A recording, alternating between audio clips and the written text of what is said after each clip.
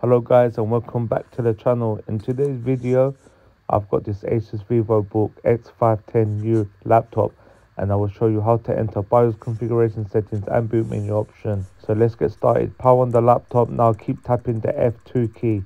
Yes guys just like this the f2 key. I will zoom in and show you. So this key. Right we have now entered bios uefi so guys this is how it looks like there's other options here. I will tap onto F7 for more options.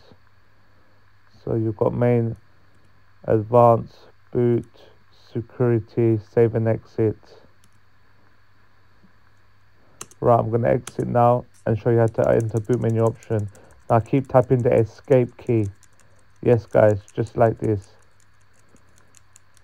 I'm going to zoom in again ESC okay?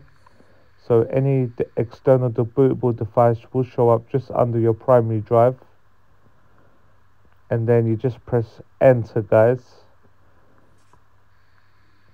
And then it will boot up. Right I'm going to resume to Windows. I hope this video has helped you.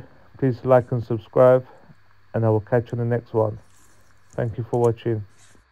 Please also check my other videos